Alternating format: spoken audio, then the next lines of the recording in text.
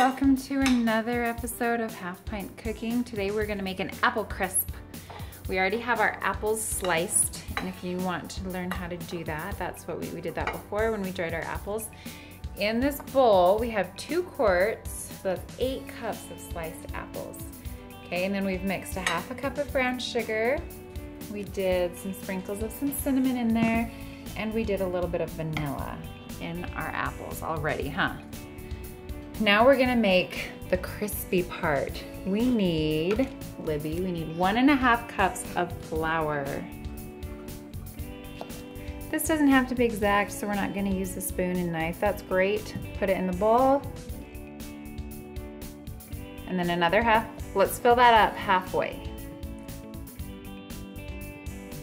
Then we are gonna do two cups of oats. You are gonna use the same measuring cup and we're gonna do two cups.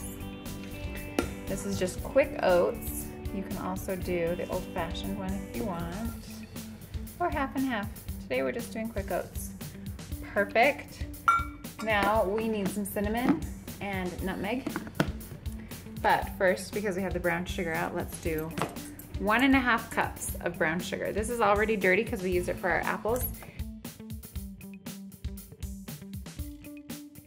You actually usually want to pack brown sugar down. So I have a cup in here, I mean a spoon in here, and I pack it in because brown sugar just measures funny. Now we need the teaspoon measuring spoon, this? one that says one TST. Perfect. And we want one teaspoon of cinnamon,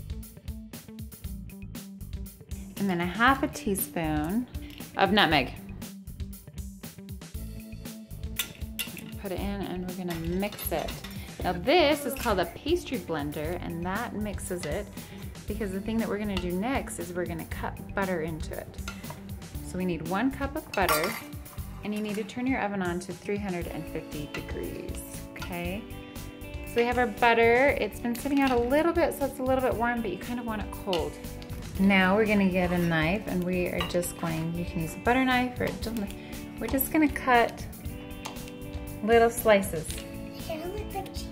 It does kind of look like cheese. Say hi, Jane. Hi.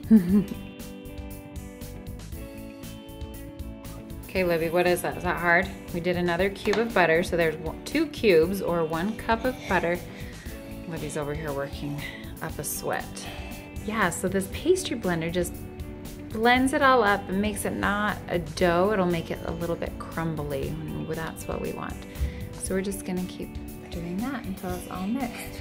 A good way to use these, I'm gonna show you, is you put your thumb right there, you rock it back and forth. You push down and rock it. Ah. Okay, let's let Jane have a turn. Okay, our oven's ready. Are we ready? I accidentally messed up the recording on our first time around, and so I'm just gonna have to explain to you what we do. We get a 9 by 13 casserole dish or cake pan, whatever this is a Pyrex, and you spray the bottom of it. We have our cooking spray. You spray the bottom of it and you put half of the mixture down and it's gonna be a little bit crumbly. You put half of it down in the pan and then you're gonna press it down. That's just half of the mixture. And then you're gonna get all of your apples and pour your apples on top of the bottom, on top of the mixture on the bottom. And then with the rest of the top, you're gonna crumble it just like this. Use your fingers and crumble it, the rest of it on top, but don't press it down. You want it to be crumbly and pretty on top. And then you put it in the oven at 350 degrees for 45 to 50 minutes. Okay, our dessert just came out of the oven and it looks so good, doesn't it? You can smell it. Doesn't the house smell so good? Okay, so we let it sit out for about five minutes so it's not super hot. Libby, do you want to put some in the bowl?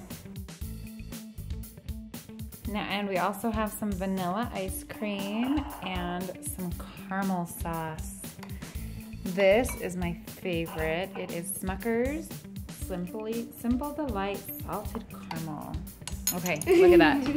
Yum, who's excited.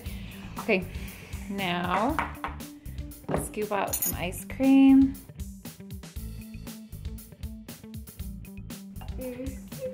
Move it out of the way and then we'll put some caramel on.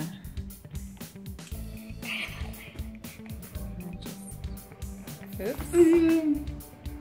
Doesn't that look Good. Okay, you gonna taste it? Yeah.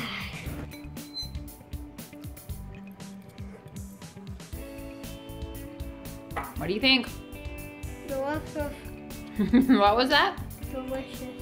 Delicious. Are you spoiling your dinner? Mhm. Thanks for watching Half Pint Cooking. Don't forget to subscribe and give us a thumbs up. Bye. Mm-mm.